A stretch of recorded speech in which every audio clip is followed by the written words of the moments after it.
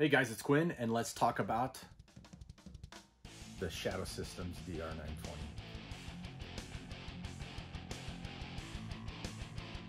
This is the full size. Full size that we've all been waiting for. Clear of ammunition. Now, if you don't know about Shadow Systems, do a little bit more research, go back to one of my other videos. In those videos, I talk about uh, the MR918 and the 920, the backstrap system, magazine well, lowest fitting handgun in the industry in your hand, slide serrations, and all that stuff. So um, this is just real quick. I'm going to try to keep this under five minutes, hopefully, um, talking about this fire. So what is this? DR stands for duty role. This is the full size 17 plus one handgun, okay? And they are uh, really going for the law enforcement uh, market and I utilize this for competitive shooting. Right now I have through this guy 6,024 rounds.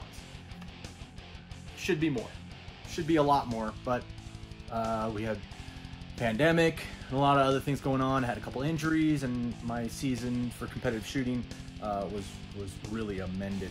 So um, not exactly where I would like to be, but I thought I'd throw out the good and the bad on this guy right here first thing I noticed is when dry firing, there is, these are dummies, there is a ledge right here, almost a 90 degree ledge right there in the magazine well. And while reloading, the rim of the casing would get stuck on that coming in at a certain angle and I would blow my, my reloads either in dry fire um, and then sometimes in, in competition. So to go ahead and take care of that, I just I just filed that down a little bit. As you can see, I put a little bit of a bevel there.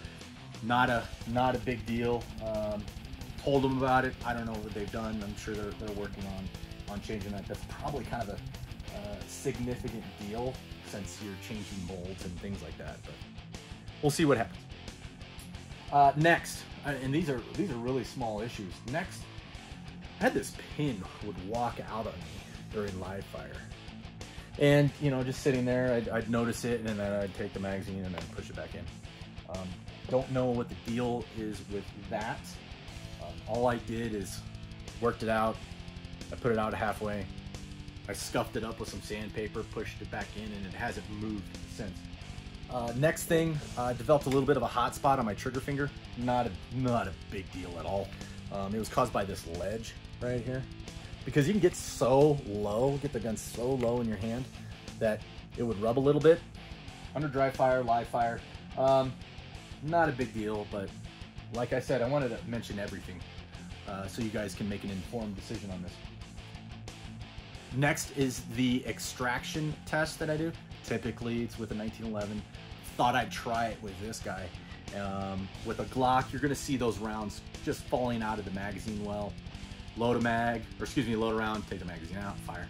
And uh, this one reliably ejected from the ejection port and not out of that magazine.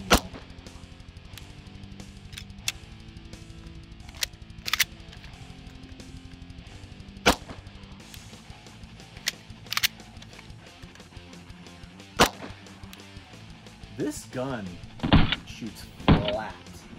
It returns very, very well torch off the round, immediately tracks back if you have a good grip on the gun. So um, worked really good there. A little bit, little, little bit of some pre-ignition push. Okay, got it. Understood. No biggie. Figured it. A lot of people ask, well, how's the trigger? Well, as you ex would expect, again, I am clear of ammunition right there. All right. A little bit of take up, which I like. This is for duty. This is a duty handgun, okay? This is not a competition handgun. This is not, not it's not a race gun or anything like that. This is made for duty. This is made for cops and SWAT dudes. So a little bit of take up. I'm totally cool with. Breaks the shot at about five. Reset. Reset. Ooh reset. So that's good. Good reset. Another question that I get quite frequently is, well, looks like it's wearing a lot. Well, let's look at that in context. 6,000 rounds. Little bit of wear on the barrel right there. Not a biggie. I mean, I don't care about that because obviously that's probably blood. I don't know. Could be mustard. Um, I really don't care about that, but a lot of people are, are, are into that. A lot of people want to see accuracy when it comes to reviews. I don't know.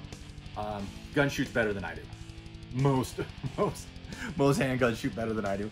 Um, so not a not a big deal there. I just threw in some plates and, uh, 15 yards to see, you know, under under a little bit of speed.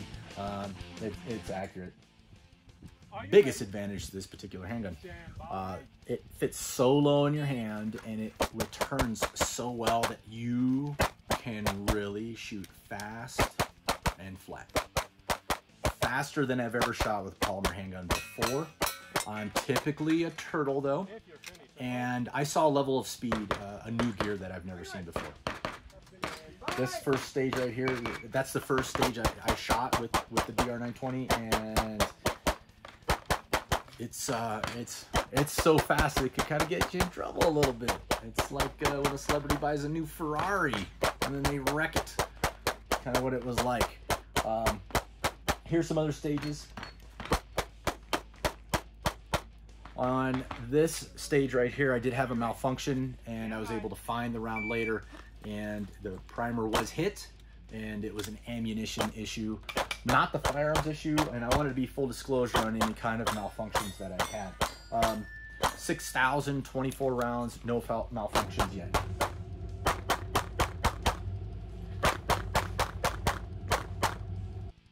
All right, so what do I think? I showed you all the bad stuff. Uh, magazine well could be beveled. Pin walked out. Roughed it up with sandpaper, pushed it back in. It's fine since. I had a malfunction caused by ammunition. And I had a callus. a little bit of callus. But I shot 6,000 rounds, over 6,000 rounds, and uh, dry fire four to six times a week. 45 minutes to an hour a time. Okay, you're gonna get a callus. Um, this is meant for law enforcement. It's full size 17 plus one. It'll fit in the same holster as a Glock 17. I have the lowest optics cut in the industry. Comes from the factory with a night sight up front, blank rears, which is, in my opinion, which is the way it should be.